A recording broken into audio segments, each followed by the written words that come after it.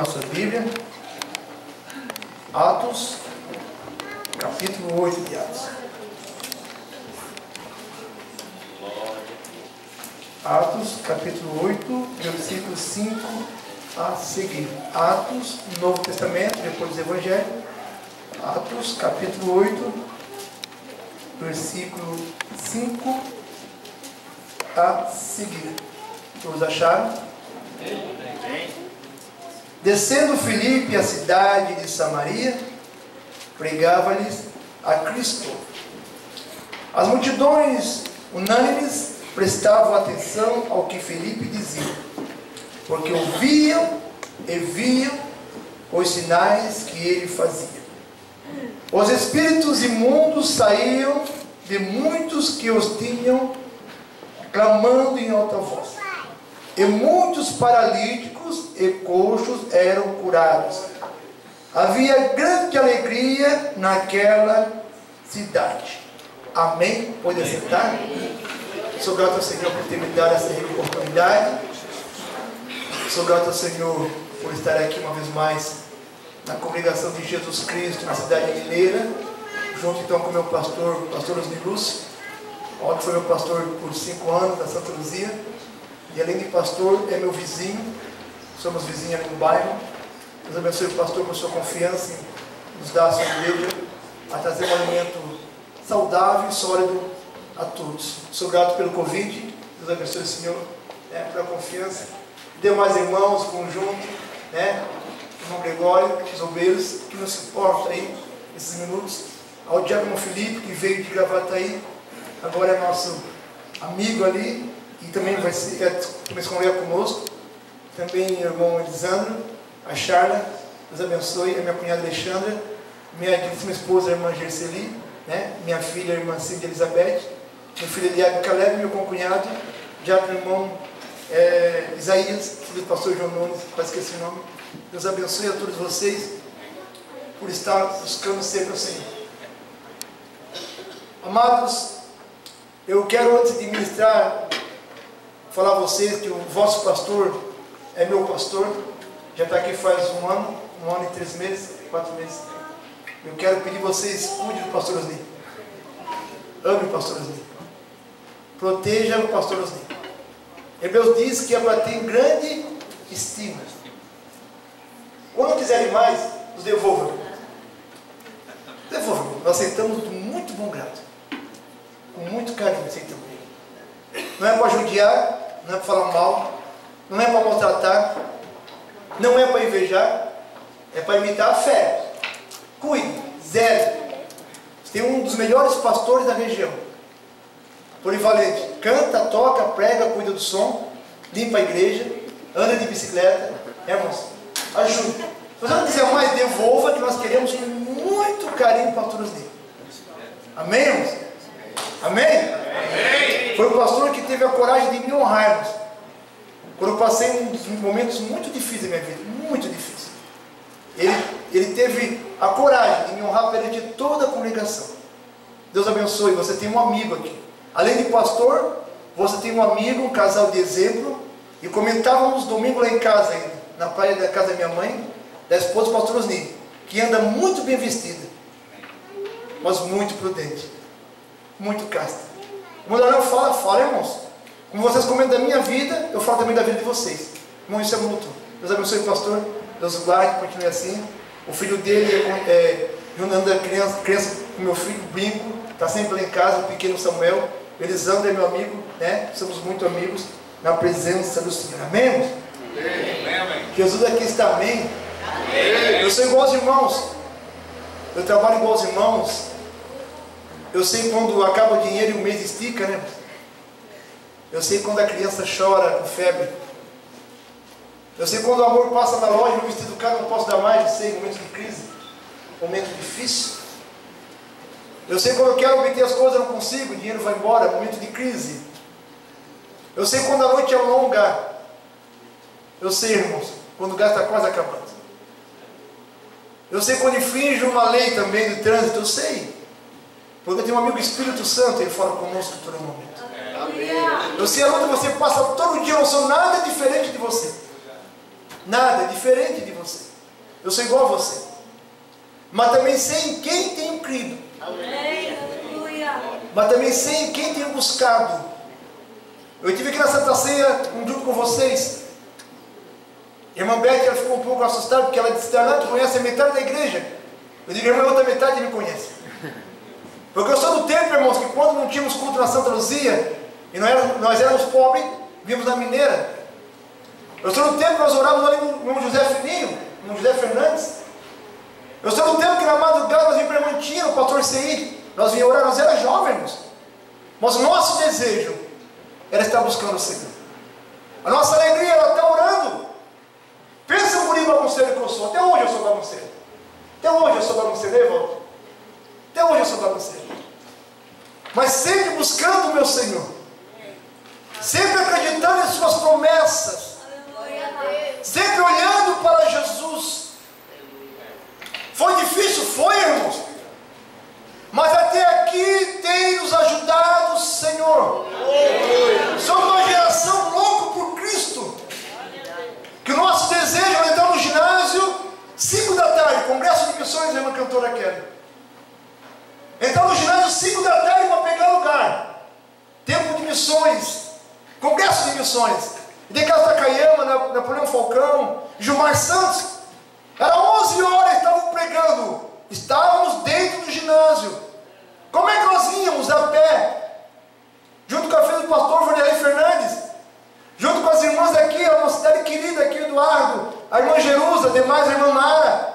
Vínhamos sem malícia, adorando ao Senhor, buscando ao Senhor, acreditando na vinda de Jesus Cristo, querendo que Ele viesse aquela noite. Ele ainda não veio, irmãos. E já se passou 30 anos do que eu estou falando. Aleluia.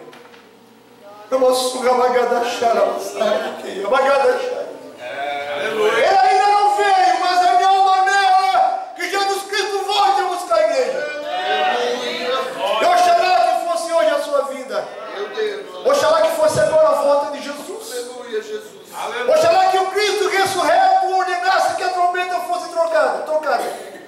E que subíssemos. E todo aquele que tem ouvido, ouça. E todo aquele que seja atinado o seu ouvido, ouça toque da trombeta. Somos uma geração, irmãos, que vencemos em Cristo. É a coisa melhor que tem até em Cristo. Não tem nada melhor do mundo do que está em Cristo. E lembra aqui essa noite, a respeito do nosso irmão Felipe.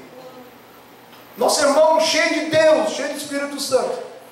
E lembra o versículo aqui antes do capítulo, versículo 5 do capítulo 8.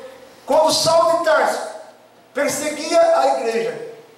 E lemos antes quando desceu o Espírito Santo, era tão boa a igreja, que desceu o Espírito Santo em Atos capítulo 2. E a Bíblia diz que esse cara tudo juntinho. Estava tão bom, né? Estava tão gostoso aquela comunidade. A Bíblia diz que ninguém tinha necessidade.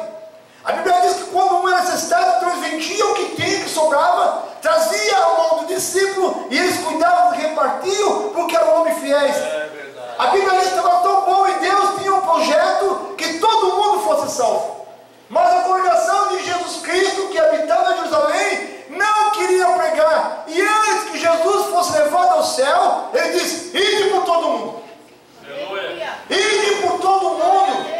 Eu vou abrir aqui um parênteses da mensagem e dizer: sabe por que, que nós brigamos tanto na igreja? Sabe por que, que discutimos tanto na igreja? Sabe por que, que nossos líderes perdem mais tempo com crente do que com uma pessoa não crente? Sabe por quê? Resolvendo o problema? Porque nós estamos muito juntos. Nós estamos muito unidos. Nós estamos muito juntinhos. E minha mãe dizia assim: ó, dia de chuva é dia de criança pequena apanhar. Porque nós éramos sete filhos em casa, uma casa pequena em sete não dava problema. Hoje a gente chama a igreja de departamento e cada um tem uma congregação dentro da igreja. Se nós saíssemos para a rua em dois em dois, se nós fôssemos buscar alma de dois em dois, não brigávamos tanto. Nós estamos cheios de energia. É igual pegar uma criança enchendo de Nescau, de acidulante,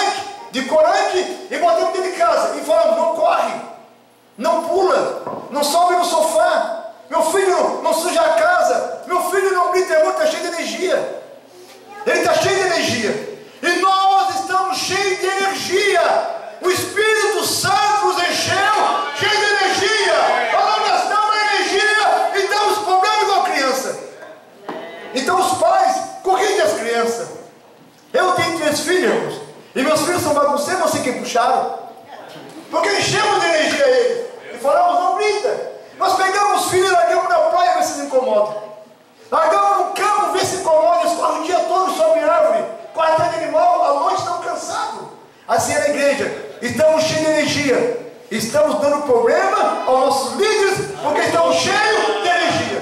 E Jesus Cristo deixou aquela igreja de atos cheia de energia, de atos de explosão. E eles ficaram dando problema. Então Jesus Cristo levanta a sala de Tarso. E diz: É para ir. É para ir. Porque ele falou assim no capítulo 15: Vos chamei, vos preparei, designei para que vais, de fruto e vosso fruto permaneça. Está lá, Saulo de Tarso, eu levanto a Saulo de Tarso, porque nem, nem toda luta vem do diabo, nem toda perseguição, perseguição é tribulação, é aprendizado nosso. E muitas vezes aprenderam não somente com a luta no deserto. Levanta lá, e a igreja foi dispersa. A igreja não saiu porque Roma tinha preparado as estradas já. Então Deus diz: persegue e todo mundo sai. Então está lá Felipe, mesmo perseguido, cheio do Espírito Santo. Porque infelizmente nós só oramos, irmãos, quando vem a luta. Alguém aqui já viu alguém fazer campanha da vitória porque ele recebeu uma grande herança? Nós ficamos bem quietinhos para ninguém pedir dinheiro emprestado. Alguém aqui já fez campanha da vitória agradecendo a Deus pelo aposento? Ficamos bem quietinhos para desviar o dízimo. É assim que fizeram, irmão. Alguém aqui, irmão, já teve assim um, um campanha vitória para agradecer por muita bênção? Ficamos bem quietinhos. Mas quando vem a luta, irmãos, quando vem a perseguição, quando vem a dificuldade, oramos tanto, buscamos tanto, acreditamos tanto, jejuamos tanto, pedimos tanto do nosso Pai do céu, que não é como nós, que não é vingativo, que não espera um momento para se vingar. Ele está dizendo, como falou para Jeremias em 33 e 3, clama a mim, e respondei-te-ei coisas grandes e ocultas que não sabe. Por que, que eu não recebo o Darlan? Porque a minha oração tem sido oração de café com leite. É só oração momentânea. Nós não morremos, mas também não ficamos fortes. Ficamos inanimados. Igual pessoa que fica em coma somente no soro. Ele é tratado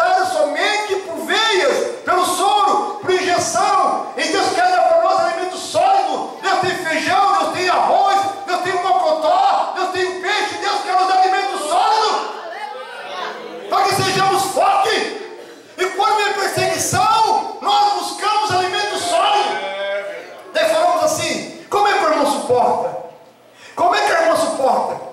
Porque está se alimentando, meu Deus, quanto mais multa, eu já teria morrido. Como é que ele suporta? Porque está buscando, porque está clamando, e vem perseguição. E Felipe, cheio do Espírito Santo, ele começou a pregar. E quando nós pegamos cheio do Espírito Santo, irmãos, e que apresentamos a Cristo, porque a Bíblia diz que Felipe apresentava a Cristo. Sabe qual é a nossa dificuldade hoje para a igreja? Porque montamos lá no nosso, nosso Facebook, Campanha da Vitória, pregador, Darlan. Darlan, ah, Darlan nós não conhecemos. Darlan, já, Darlan prega para nós já faz 30 anos. O Darlan já conhecemos. Vamos trazer alguém de fora. Vamos pagar para ouvir. E diz ao apóstolo Paulo que nos últimos tempos os homens teriam comichão nos seus ouvidos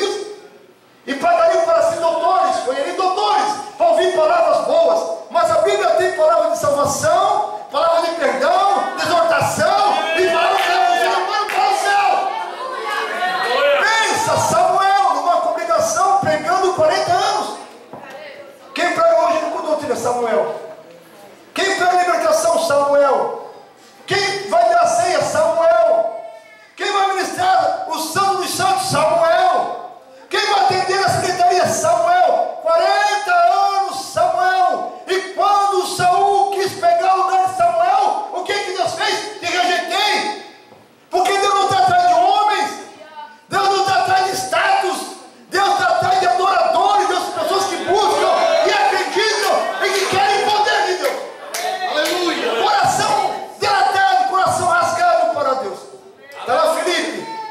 Espírito Santo. Porque a tribulação não mata crente. Luta não mata crente. Nos prepara para ir para o céu. Luta nos molda. Mostra quem nós somos. Mostra quem nós queremos ser.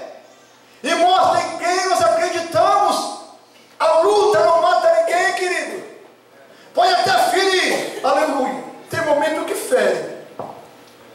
Tem momento que deixa marcas. Mas o Espírito Santo que é óleo. Aleluia.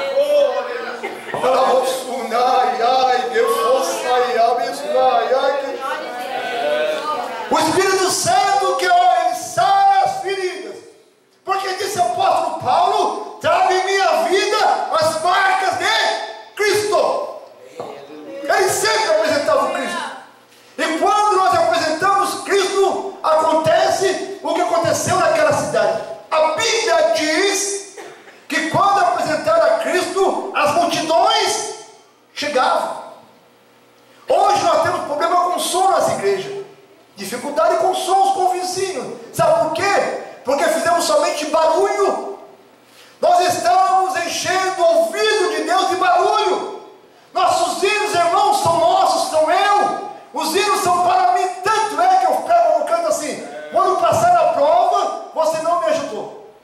Vou estar sentado aqui na bênção e você vai se arrepender. Vai estar na plateia ou aqui no palco. Irmão, que é isso, irmãos?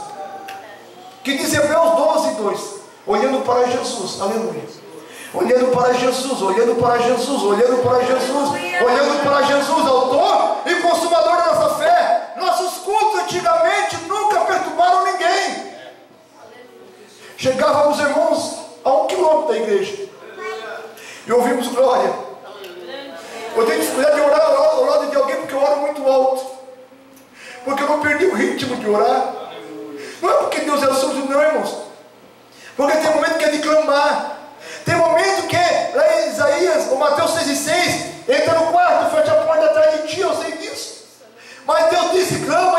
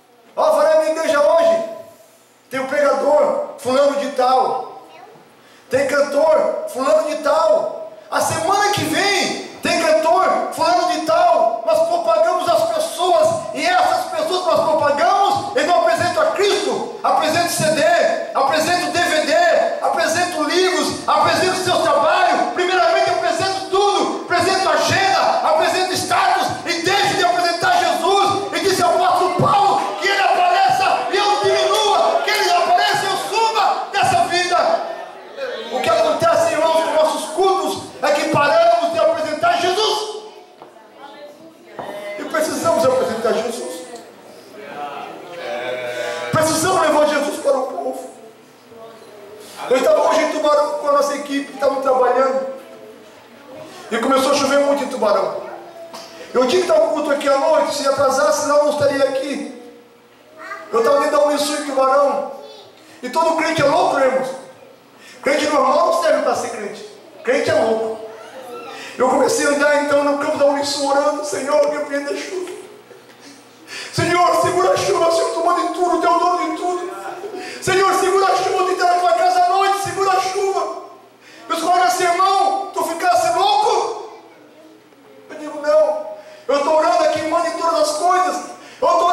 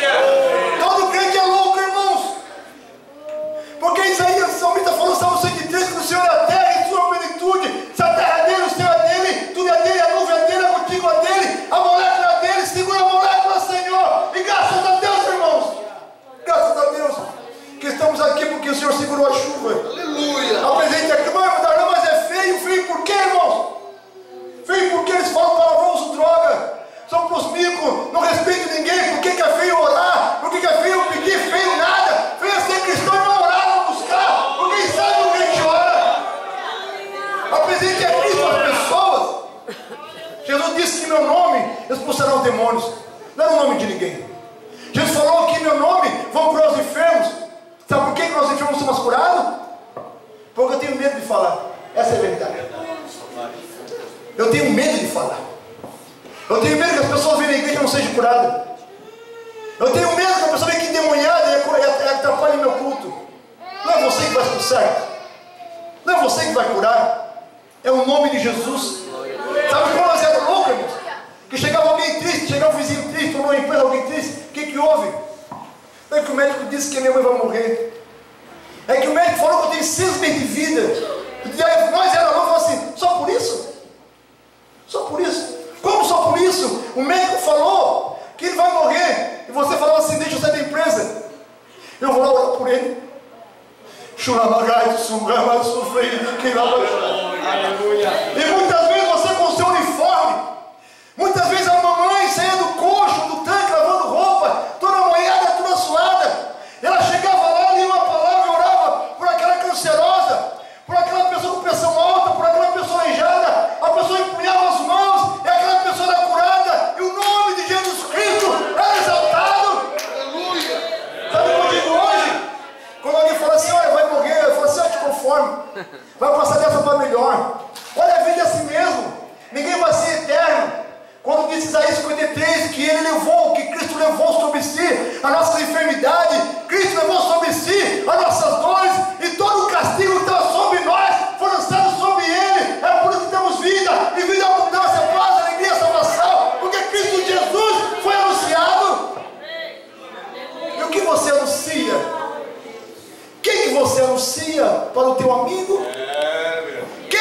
você anuncia para o teu parente? Quem que você anuncia na tua empresa? A Bíblia diz, então, que as pessoas vinham até Filipe, porque ele pregava Cristo. Porque ele pregava Cristo. E toda pessoa que pega Cristo, nós gostamos estar com ele. Porque ele transmite coisa boa. Porque ele transmite algo de bom. Porque a pessoa que tem Cristo não fala palavrão. A pessoa que tem Cristo não murmura contra o governo.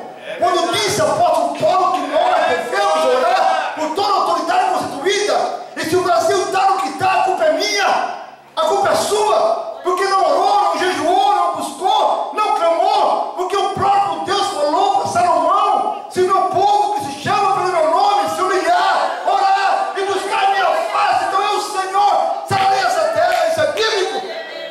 A culpa não pode estar assim, a culpa é minha. Sabe por quê? Quando éramos pobres, nós orava. Quando éramos pobres, nós não perdia escala. Quando nós éramos pobres, nós o congresso. Hoje nossos congressos, irmãos, não tem mais. Sabe por quê? Porque eu não vou para o ginásio. Porque eu estou saturado de culto. Essa é a verdade.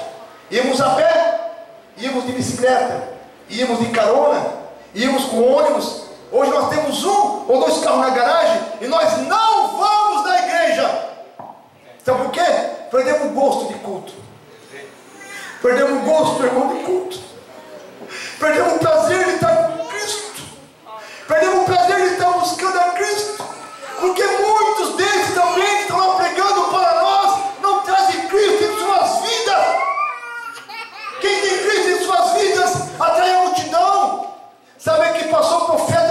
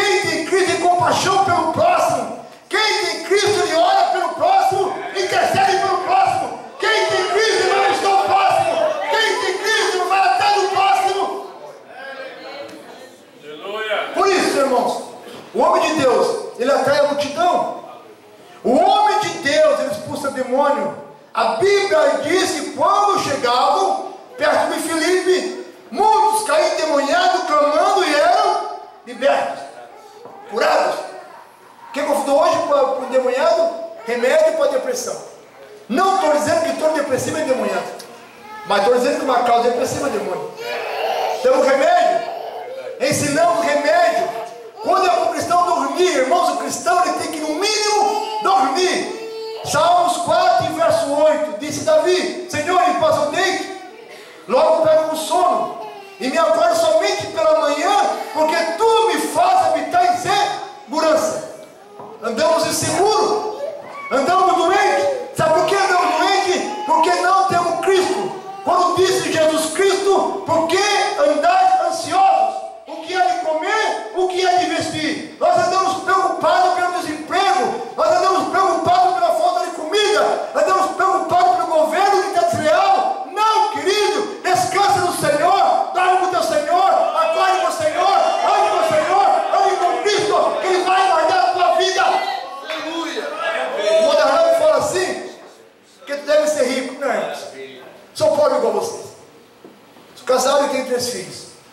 Já fiquei desempregado algumas vezes na minha vida. Eu sei o quanto é difícil. Eu sei o quanto é difícil no mercado com 500 reais passar um mês uma família inteira. Alguém pode rir? Mas disse Davi, fui moço, sou velho, aleluia. Nunca vi o justo, olha o segredo, o justo, nem a descendência, mendigar o pão. Mas, Monarlan, eu tenho sido infiel algumas vezes. Eu também tenho sido infiel. Não sou perfeito. Porque aquele que não peca é mentiroso. Mas disse Davi no Salmo 103, que ele não nos trata, aleluia, é o segredo. Ele não nos trata segundo nossos feitos, aleluia. Uma gadaçuga, rachai, da basufrinai tem que. Aleluia. Não, menaçai, ai, oh, que labaçuga, magachai. Ele não nos trata segundo nossos feitos, e como o Pai se compadece pelo Filho, assim o Senhor se compadece de nós. Assim o Senhor tem misericórdia de nós. Aquele que apresenta Cristo, ele atrai a multidão. As pessoas são libertas dos demônios e as pessoas são curadas. As pessoas são curadas. Quando olha, tu fica doente, fico. O que que tu faz? Eu vou orar a Deus. Eu passei esgotamento, irmão, estou acabando, muito grande. Esgotamento muito grande. De, de perto de faltar minha memória. Eu disse, pastor Paulo Caetano, pastor, eu estou muito ruim. Vou parar de pregar porque a mensagem fugiu da minha mente. Eu levo a minha esposa e eu, eu voava. Eu não tinha mais noção de pregar. Eu cheguei a um ponto tão esgotado, irmãos, que eu não parava mais em pé, eu caía. Então minha esposa andava comigo que eu caía, literalmente eu caía porque minha mente não coordenava mais. Então eu fiz todo exame que tinha na medicina, todo exame que você pode imaginar da medicina eu fiz, tudo, tudo, tudo. Não acharam nada. Então a doutora Daniela Pamplona, ali no Milênio Centro, ela disse, Darlan, tu não tem nada. Só está esgotado. Doutora, quando que isso vai me resolver? Assim, ó, o tempo que tu levou para se esgotar, o tempo para recuperar. Tu não se incomoda mais. Tu não te irrita mais. Tu não te preocupa mais que tu vai sarar. Doutora, como é que eu vou me irritar mais? Eu vou se preocupar mais? Como é que eu não vou trabalhar mais? Eu preciso fazer tudo isso. Então eu perdi o sono por sete dias, sete noites, eu não dormia. Você não dormia, irmãos. Eu andava, ela começou a me dar remédio também. E ela me deu remédio de 150 miligramas. Ela assim, ó, tu já toma deitado, porque eu tomar e dormir. Eu tomava o remédio, eu saía caminhando, porque eu não tinha sono. Ela disse, você pode derrubar cavalo. Eu não tinha sono. Então eu voltei na doutora Daniela Pamplona. Muito obrigado por sua ajuda.